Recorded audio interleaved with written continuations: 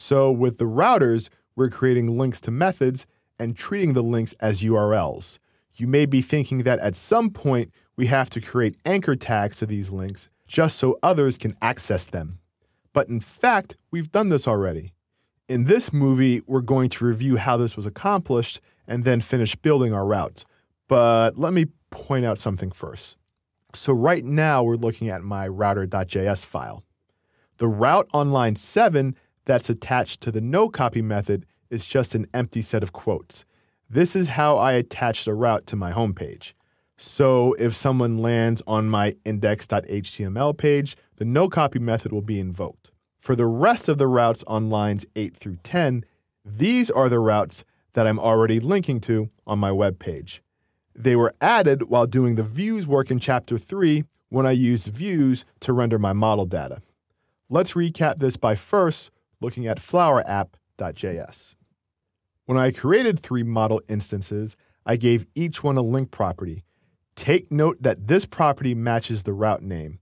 So the link name for red rose on line 6 matches the link name for the route on line 10 in router.js. And it's the same situation for the two other model instances. Now, when the models got rendered on index.html, this link property was added to my web page content thanks to my template. So let's review that on index.html. On line 24, I appended the link property in my anchor tag's href attribute, placing it after a hashtag or pound sign. I'm going to call it a hash. This hash is needed to create routable links in Backbone, so always remember to include it. To confirm that these links were properly added to my page, I'm going to open it in Google Chrome and review my page structure in the Elements tab. So let me jump over to Google Chrome and go to View, Developer, Developer Tools, and the Elements tab is selected for me. And when I find the section tag and expand it, and then review all the article tags and look at their links, I see that all the links are there. With a little planning, I was able to dynamically add links to the routes on my web page and avoided manually creating them by hand.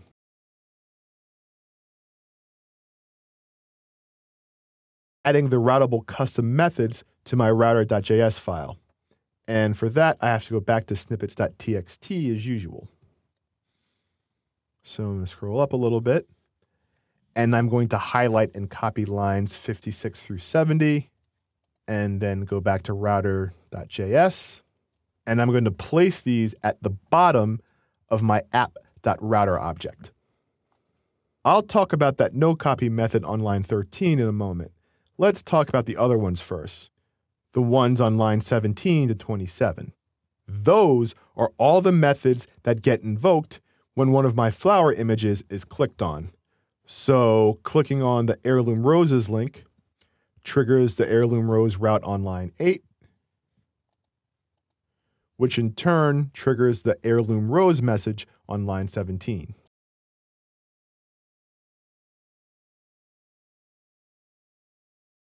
Query to find an empty div tag with an ID name of copy, which we added to our page at the start of chapter 2 and then use jQuery's.html method to load in some unique wording.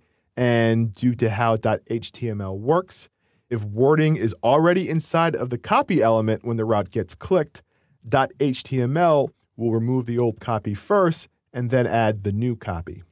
The no copy method on line 13 works a little differently. If we look at line 7, I attach this method to the homepage route. I don't want any unique flower wording to appear when this route gets clicked, so I want to empty my copy div. I've passed an empty set of quotes as a parameter of nocopies.html method to make sure that this happens. Now, my routes are configured but haven't been instantiated yet. I'm going to do that with one final piece of code, and for that, I have to go to snippets.txt. Scroll all the way to the bottom, and I'm going to highlight and copy lines 78 through 80. And this time I'm going to go to flowerapp.js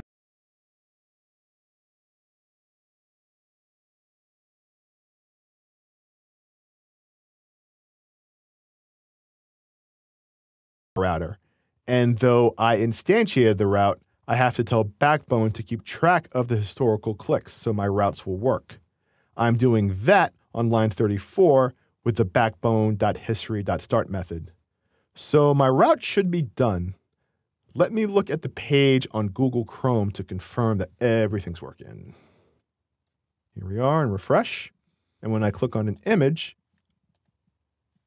okay, it looks like something's not working. Yes, I forgot to save my router.js file. I'm sorry about that. Refresh. Let me just go to the home page first and hit enter and then click on each image. Excellent. Everything is working exactly as it should. My routes are working perfectly. Now, I want you to look at the address bar. See that the hash part of my link is working and appearing. That's backbone routes in action.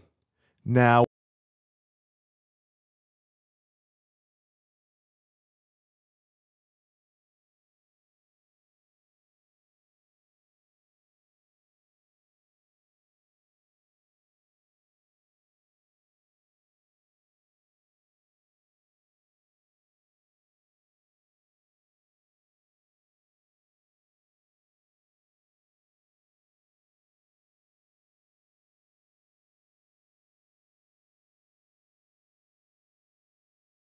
A web search will bring up some fixes, and many of them involve using something like HTML5 push state, but you may have to make a decision on whether to use in page links or backbone routers.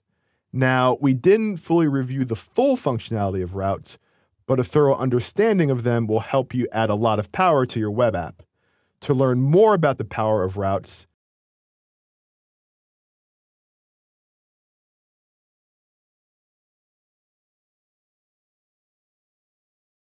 is well worth your time.